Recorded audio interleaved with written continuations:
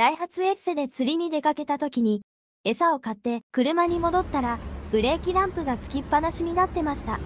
ブレーキペダルは踏んでいない位置にあるにもかかわらず、つきっぱなしになっていました。ブレーキランプはエンジンを切ってもつきっぱなしになるので、このまま釣りに行くと、バッテリーがなくなってしまいます。釣りに行くためには、とにかくすぐに修理したい。その一心でペダルを見てみたら、ブレーキペダルを踏んだ時に離れるスイッチを発見しました。床でこの部品を砕けた状態で発見しました。スイッチの故障ではなく、このスペーサーみたいな部品が脱落しただけなら、その場で修理できるかもしれないと思いました。釣り道具の中から、からマンボウというゴム部品を、ペダルに釣り糸で結びつけてみました。うまく修理できました。後日、ダイハツに部品を買いに行きました。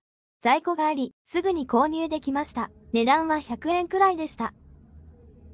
こんな安い小さな部品一つで、ブレーキランプがつきっぱなしになるなんて、エッセ君は油断なりませぬ。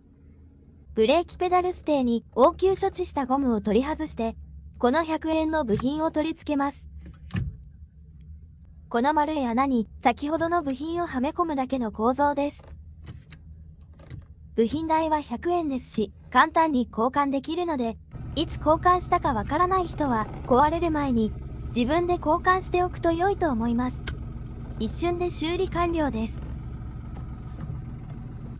スイッチの白い棒が中心に当たってないのが気になりますが、調整できそうにもないので、そのままにします。車の修理が出先で自分でできたので、釣りも予定通り楽しむことができてよかったです。